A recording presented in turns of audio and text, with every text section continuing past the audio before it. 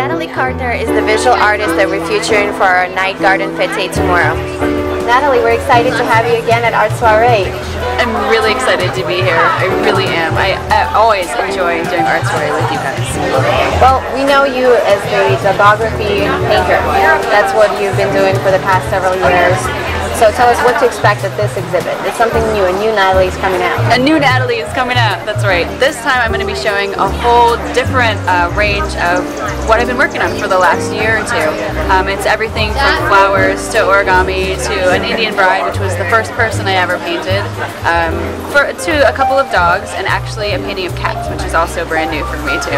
You know, it kind of goes against my dogography image, but that's okay. I'll kind of go with it this time. So how do you explore your images? What takes you to explore other subjects than dogs or like cats? That's what used to be before, right? Well, I think dogs and cats sort of introduced me to the people in the area and got me comfortable um, interacting with individuals and figuring out kind of the, what they were like. And I, and I got used to the personalities of the animals. And when I was doing dogography, the personality of the animal came through um, in each of the paintings. So when I started switching over to different subjects, the people who um, I meet and who commission works are the inspiration for them and their personalities come through on whatever it is that I'm working on. For example, um, you might inspire me to paint flowers or something like that and so I would use your personality and put it into the actual painting and however it moved me. It's really, it's really um, difficult to explain, but it's kind of a cool concept, I guess. Well, it comes out definitely great, and hopefully tomorrow a lot of personalities will inspire you as well. Because for you, primarily, the commission artwork is that how it works, right? Mm -hmm. People contact me and they say, "Well, this is what I'm looking for, and can you do this?" And I say, "Absolutely, I can paint anything that you want, anything you can think of, um, I can paint." And there really is no limit, and that's how I explore and you know touch new boundaries is, is through the, the requests on my commissions.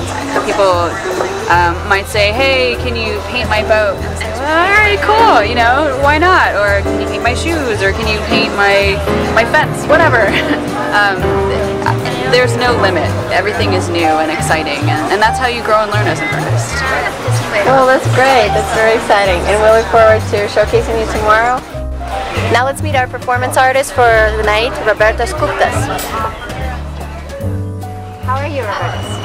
I'm wonderful. How are you? I'm wonderful as well. I'm excited for tomorrow. It's going to be a fantastic night. I'm already kind of feeling the vibes and feeling the music. I think it's going to be a great, great evening. Yes, we're featuring your um, solo performance with your own quartet. Tell us more what to expect for tomorrow. I think it's going to be a night of, you know, it's, it's going to be a deep night. It's going to be a night of you know, musical beauty. It's going to be a lot of love. Um, I personally am looking forward to connecting, you know, with a lot of the feelings, you know, that drive all of us in this world, you know, which is, you know, the love and connection. Kind of been in DC for you know a few years now. I'm kind of picking up, you know, you know, sort of the other side of me, which may I may sometimes have felt that I've neglected, you know, and and so you know, jazz and you know my performances at Blues Alley and you know all the music partners that I've had over the past few years, you know, have been a part of me, you know, in my path, you know, towards really kind of finding my own self.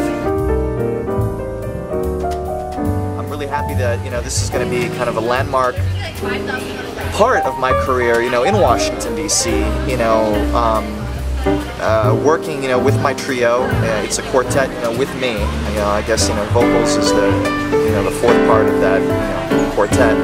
And, you know, I'm just gonna see where it goes. I'm really excited. You know, I think the music is gonna take me someplace, but you know, it's all about building some momentum. And I'm, I'm very happy, you know, for you and, and Sandro, you know, for helping me, you know, standing there for me helping me build some of that momentum and give me yeah. a little bit of. Sounds great. It's great to hear yeah. that Washington inspires people not just in the political way, but also in more artistic.